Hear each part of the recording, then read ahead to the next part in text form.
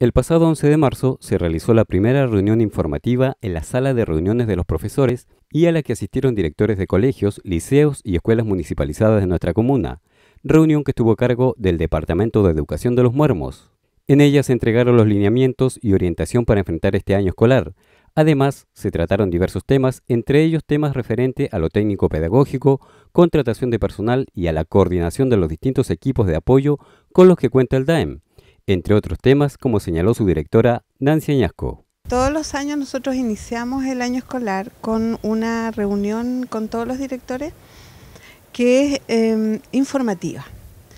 Informativa y además para ponernos de acuerdo en algunas eh, prácticas técnico-pedagógicas y recordar algunos lineamientos normativos que tenemos que cumplir. Por lo tanto, la reunión la dividimos en informaciones varias donde están los recordatorios de los diferentes eh, antecedentes y, circulares que tenemos que cumplir. Eh, una parte de personal donde también conversamos respecto a las contrataciones, adecuaciones docentes y de asistentes de la educación. La parte técnico-pedagógica que la ve directamente el jefe técnico y fundamentalmente es ver cuáles son los lineamientos de, que nos interesa profundamente por el tema de los resultados que tenemos en los aprendizajes de los niños. Además, ¿no es cierto?, de hablar sobre cómo eh, van a trabajar los equipos eh, profesionales de apoyo, tanto del PIE como de la SEP. Este año nosotros estamos incorporando eh, otra fonoaudióloga en, el, en, la SEP y también estamos incorporando un equipo de nutricionista, kinesiólogo y psicóloga en el PIE. De tal manera que tenemos que ponernos de acuerdo de cómo van a trabajar esos equipos en las diferentes escuelas y cuáles son los tiempos determinados para desarrollar las diferentes etapas del programa que van a hacer. El tema de infraestructura, que felizmente se han llevado a cabo varias soluciones en las distintas escuelas, algunas están en ejecución, y ver cuáles son las necesidades urgentes para el 2015, así lo está pidiendo el Ministerio de Educación, eh, fundamentalmente trabajar en un proyecto sello que para el que nosotros hemos dirigido el Colegio de Difusión Artística Los Ulmos. Eso significaría, si todo resulta bien, tener contar con un nuevo con un colegio con una infraestructura, nueva.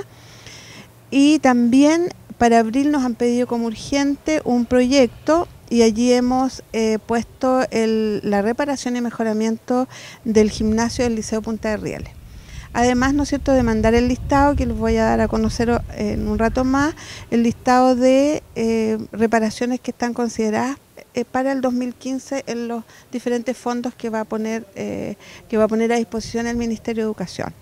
Y también, como último punto, vemos el tema del transporte escolar. la licitación ya se hizo. Algunos eh, recorridos no fueron adjudicados por diferentes razones, situación que tenemos que regularizar en el transcurso de este mes. Sin embargo, los recorridos se están haciendo, pero han aparecido diferentes extensiones que vamos a tratar de solucionar en la reunión de hoy día. Por otro lado, los docentes valoraron las mejoras que se están realizando a los distintos establecimientos de la comuna, pues esto va en beneficio de toda la comunidad educativa ya que estas remodeladas instalaciones son una motivación para estudiantes y profesores, como también para padres y apoderados que ven cómo sus hijos están en instalaciones más confortables.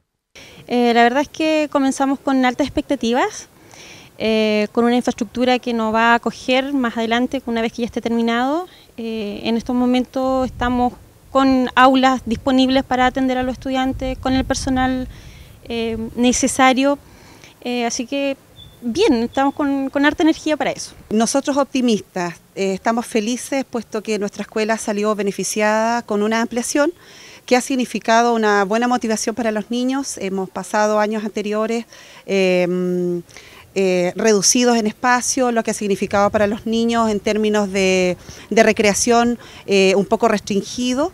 Y, eso los ha hecho felices y para mí también porque la escuela crece en un ambiente rural que uno trabaja y quiere ver también que se desarrolle y que haya amplitud para los niños que están cercanamente a nuestro establecimiento.